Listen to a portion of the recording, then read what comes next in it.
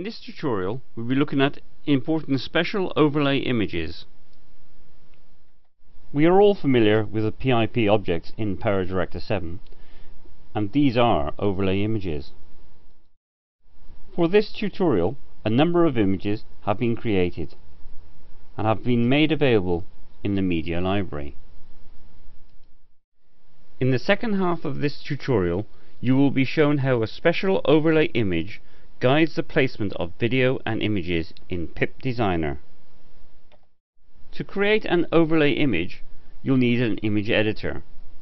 Here is a super image of a butterfly and using the lasso highlight edging tool in the image editor to track around its edge the butterfly is copied and removed. Placed as a new file with the transparent background the flaws show up clearly. With a change of background and using the paint tool the butterfly image becomes true. Leaving the image on a white background in this instance will mean changes in PIP Designer have to be made. The butterfly image is brought into PIP Designer. The Chroma key is used. Finally, the special image is saved to PIP objects. The butterfly image has been added to a video by using PIP Designer. Edit and add a motion path if you wish. Remember to save the finished PIP project. Here the image editor is being used to create an image we'll use to highlight one part of a video. The special image is saved as a PNG image file. We click on modify we go to the change the size of it first of all. Put it over an object. Make it transparent so you can see through it but it highlights the actual object. Only faintly.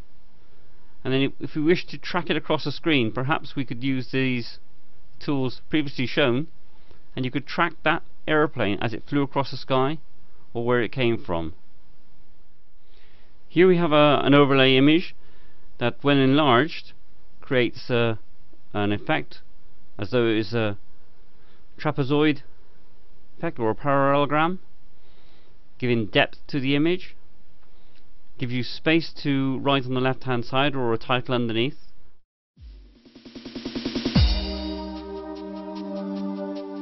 And now for something completely different as you can see we've used print screen to create an image of a blank file. That's what that's supposed to be, a blank file. If we then use an editing tool, we then grab this particular area that we're after, which is the one with all the small squares. Get as close in as you can. And grab it to the full size.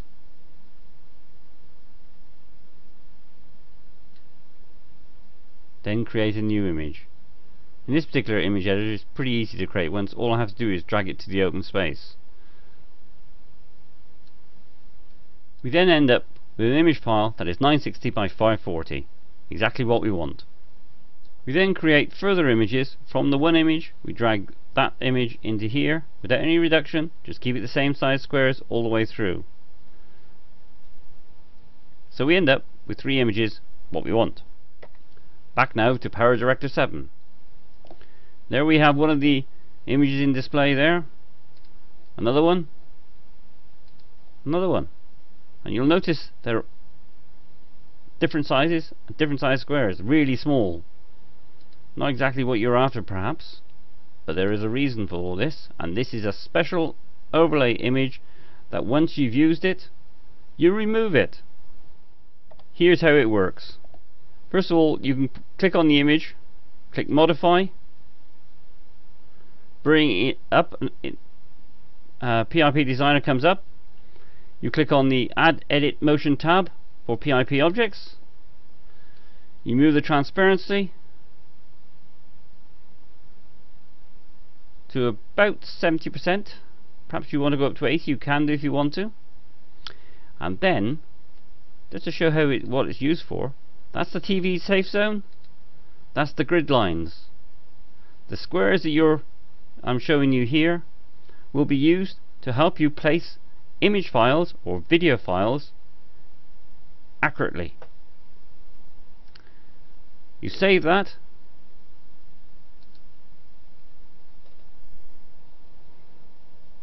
as guidelines large large squares. And click OK. Then OK here. Here's how the special overlay image works. Of those three images we made we've made them into customize pip objects. Drag any one of the three down. In fact we've dragged all three of them down here. Highlight one and click modify and already you can see something happening on the right hand side here.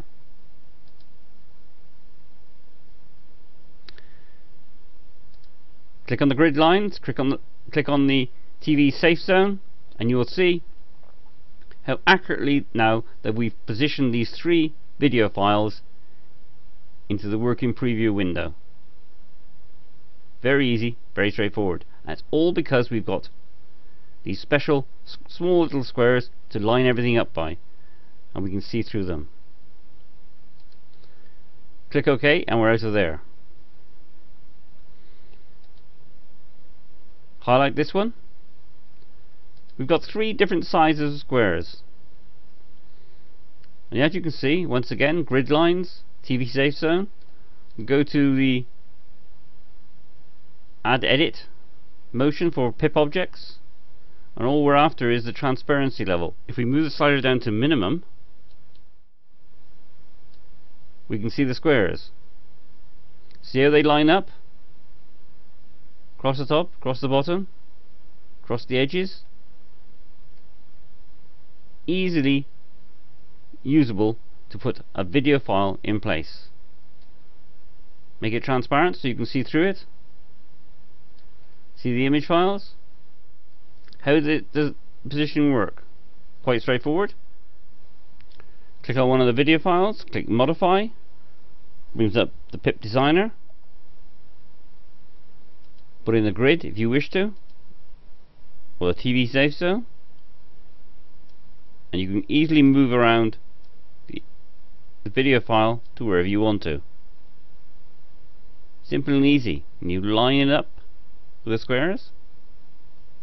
Should we put it just about there? No, it's not on center, but that one is. How about that? Click OK when done.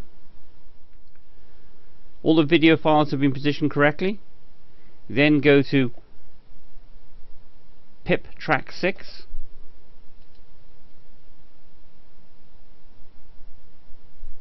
highlight and then delete this special overlay image file because it's no longer required. And it's gone. And you have your video files perfectly positioned. Job done